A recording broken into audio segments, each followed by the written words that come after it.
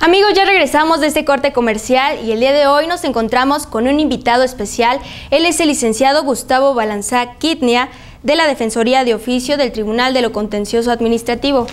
Hola, licenciado, sea bienvenido a este espacio informativo y pues platíquenos un poquito de la función de la Defensoría de Oficio. Sí, muchas gracias. Eh, bueno, la Defensoría de Oficio del Tribunal de lo Contencioso Administrativo proporciona la asesoría y el patrocinio eh, a las personas que acudan y que no puedan pagar a un abogado eh, particular postulante. Eh, la Defensoría de Oficio como tal eh, da la, puede ser la, da la asesoría en cualquier materia, no hay ningún problema, pero si hacen algún caso en específico, se hace la canalización a la instancia que corresponda. Ok, y bueno, ¿cuál vendría siendo su función de usted dentro del mismo? Claro, patrocinamos durante el juicio, el juicio contencioso administrativo.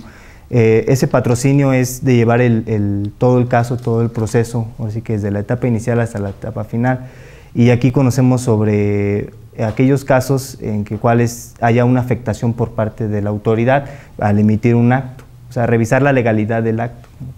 Ok. Eh, licenciado, platíquenos algunos de los casos de aquellos actos de autoridad que pues nos perjudican a nosotros como ciudadanos. Claro. Mira, como tal puede ser las boletas de infracción, eh, las actas de, de inspección, las órdenes de inspección, aquellos cobros excesivos de predial, cobros excesivos de agua, eh, en general, bueno, esos serían los, más comunes, aunque puede ser cualquier acto de autoridad, siempre y cuando sea emitido por una autoridad eh, estatal o municipal. Ok, ¿nos podría dar un ejemplo, licenciado? Claro, la boleta de infracción, que es lo más común, que es lo que más tenemos en el tribunal. La boleta de infracción, eh, un caso sería un particular, así que llegas tú y te estacionas, ¿no? Y no viste el disco entonces, eh, ya cuando llegas a tu vehículo ya tienes tu boleta de infracción en el parabrisas. Ese podría considerarse un, caso, uno de los tantos que hay. Ah, ok.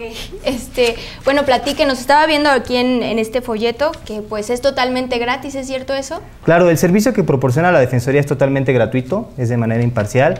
Eh, nosotros no les vamos a cobrar absolutamente nada. Se pueden acercar con toda confianza a las personas que nos escuchen si tienen alguna duda pueden preguntar, vamos eh, a servirles de la manera que corresponda. Ok, y bueno, pues platíquenos también cuáles son los horarios de atención, dónde lo podemos ubicar, dónde lo encontramos. Ok, estamos ubicados al ladito de la presidencia municipal de Cadereyta, es Avenida Juárez número 10, letra A, en la colonia Centro, Cadereyta de Montes, y el horario de atención es de 9 de la mañana a 3 de la tarde, de lunes a viernes.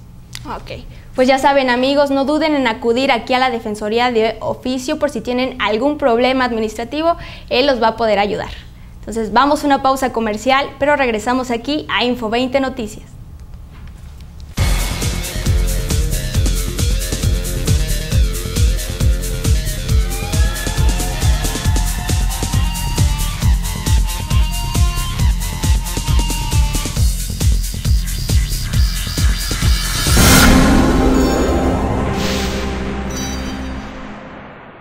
Grupo Trejo evoluciona. Dos importantes firmas hacen alianza. Construir el mejor cemento de México. Aprendimos con los expertos. Mi sueño es salir adelante como trabajador. Es ser responsable y no dejarse vencer. Fortaleza soy yo. Es echarle todos los kilos. Es caerte y volverte a levantar. Es dureza. De esto estamos hechos. Cementos Fortaleza